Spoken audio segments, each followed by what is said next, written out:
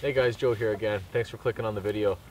Uh, I wanted to do a split wood fire today, an old-fashioned split wood fire, but let's use a Gränsfors Bruks outdoor axe and a fire steel, which is in my pocket. We won't use a saw, we won't use a knife, we won't use anything else other than the, the axe and the fire steel. We'll go from the process of cut, selecting the right kind of wood, cutting the tree down, bucking it up, splitting it, making shavings, striking the fire steel on the axe to get the fire going. Let's do that today. Noisy.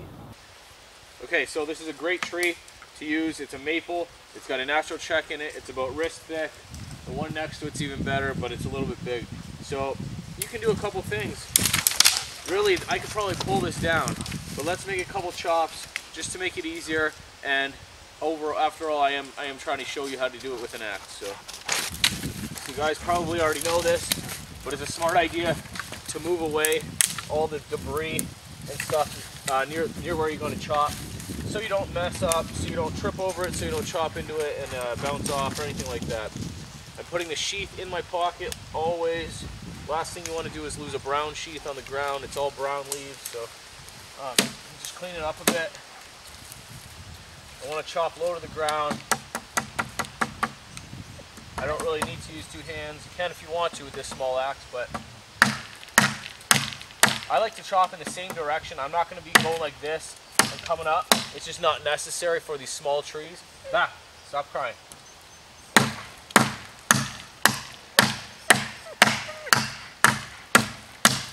So you see how if I keep chopping the same direction and I move the axe from up to up to the bottom, it's uh, it's still taking out chunks as opposed to a V-notch. And it's such a small tree, like I said, that's all you need. Watch out for falling objects. And just give it a yank. Move, move, move. And half the time this will happen, it's just gonna break out at the bottom anyway. No big deal. Like I said, I could have pushed it out. Put my axe in my axe pocket. Then I'm good to walk back, carrying my stick.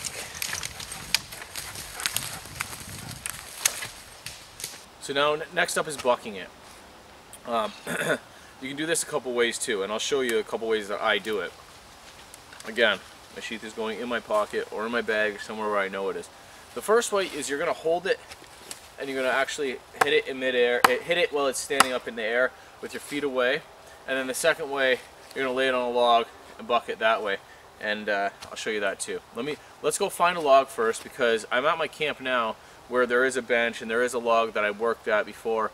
But in all honesty, in reality, if you're doing this exercise uh, for real, you're not going to have any of this stuff. So let's go find a suitable log that we can either bring here or do the work at the log uh, to use as a workbench.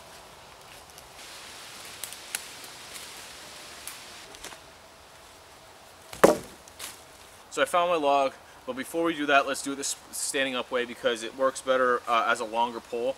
So I'm actually going to flip it around because I've got that chopped part at the bottom and I don't want that giving out on me as I'm chopping. So I'm standing my feet back.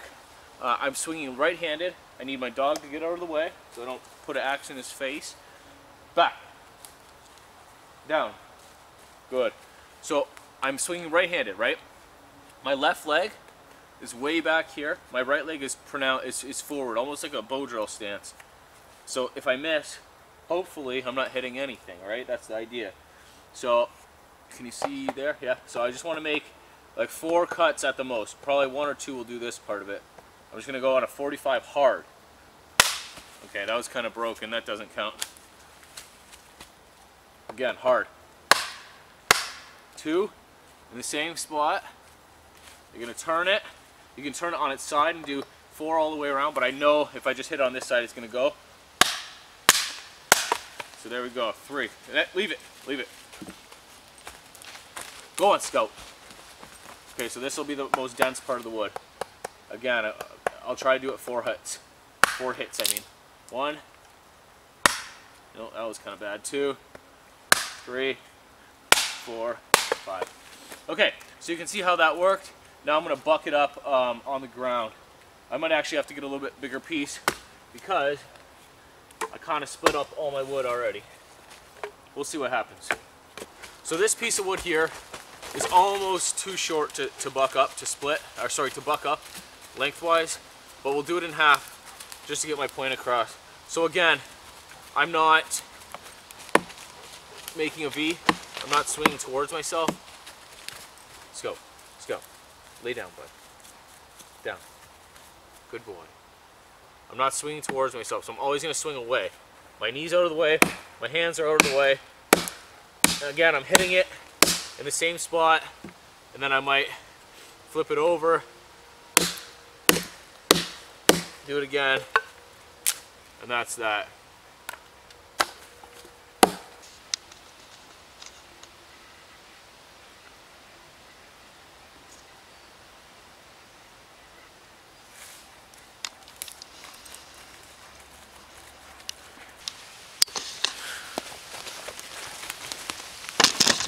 So there's usually a natural check in the wood, a crack if the wood is seasoned, and I'll, I'll always try to aim for that. I'm to put my blade right in that crack. I'm to lift the wood and throw the wood down as opposed to like burying my as opposed to burying my axe into the wood. That's fine too, but it just takes a little bit different technique. So I'm making sure my hands aren't to get pinched in the middle by doing this and moving up. A couple hits and then a pry and it's broken, right? Let's try to split this piece the axe way, swinging the axe down on it.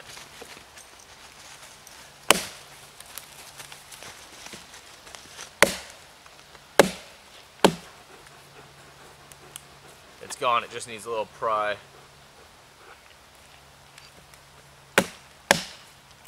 There we go. Uh, this piece is kind of punky. Oh, I'm so glad he didn't knock my camera over.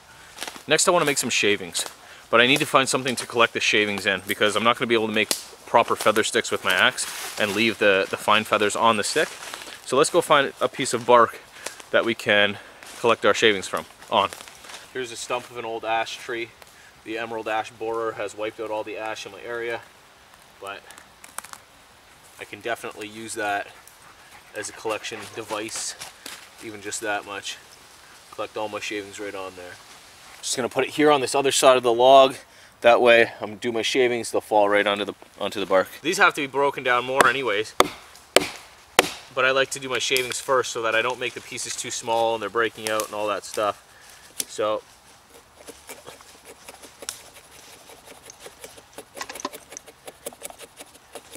get some fine ones, collect those, maybe put them in a separate pile than your bigger ones so that at the end you don't have to sort through them to try to find your thin ones.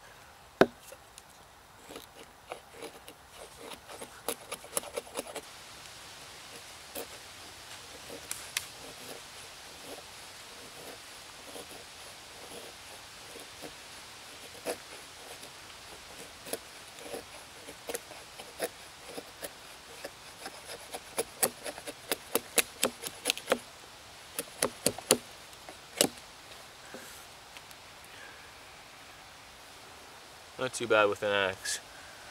I've got all but the shavings I want. It's time to split it down to tinder size, kindling size rather, which would be pencil lead, pencil, and thumb size. This stuff is actually chipping out on me. It's not the greatest wood. This maple, it's uh, like in a early stage of decay. So its grain is gone. That's why it's chipping, chipping uh, off on me, but we'll still get it to work. These pieces aren't so bad at all. But then like this, this will chip out.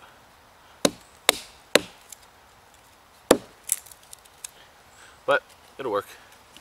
So yeah, all I'm doing, uh, a lot of the times too here, is I'll just line up the the axe right on the on the wood down the middle of it. Bring them both down together. Uh, I'm not trying to like hit it. Just bring them down together when it's this small. That'll work fine. So I'm all set up. I've got my, my small fine stuff here, my uh, shavings and my curls all here. I've got my thicker, coarser curls here. I've got my pencil size here, or my pencil lead, which was supposed to be pencil lead here, pencil, and then thumb and actual fuel here. So we'll get this all going right now. So before I do it, I just want to show a close-up of how I'm going to do it. Here's my axe. I got it braced against this log in front. This log is an integral part. I'm gonna put my knee on the axe and I'll pull away with my fire steel right on the blade. I know some people don't like to do that, but it's really no big deal. And I'm gonna shoot a video on field sharpening on how to fix that right after this video. So what I wanna do is look for my finest curl, probably be this one here. Stick some of that in there. And I'm going to just put it right above my axe blade. And again, I'll brace my axe with my knee, pull back. Nice. Okay, so while it's still going, place it on the, the brace. Put your other thicker curls on top. Hopefully you don't smother it. Tools go away. And this back piece will now become part of my fire, this back log, which is no big deal. You want to brace everything up so that there's air underneath it. And as soon as that starts to go, I'll just be laying, oh actually I got these pieces to go on next. So I'll just be laying them crosswise, crossways, crossing the other ones. Now let that build, and we shall have a sustained fire.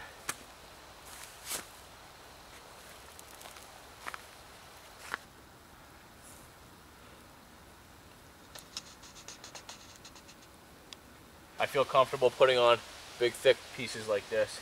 It's sustained, it's not going out. Now I can go do whatever I need to do, like dig up a sassafras root for some tea. So there you go. Not the most efficient, not the most convenient, but definitely fun and a really good skill to know. So my looking at my axe, it's no worse for wear off that fire steel. A little rusty and stuff, but I am going to shoot that second video right now. I'll probably title it uh, Field Sharpening Tools. And uh, I'll sharpen a Scandinavian grind, convex, uh, Scandinavian knife, convex knife, and then my convex axe, um, all in this video. So, uh, in this video to come. So if that's something you're interested in, make sure you tune into that video. Uh, thanks for watching, guys. I hope you learned something, and I will see you soon on the next one. Goodbye.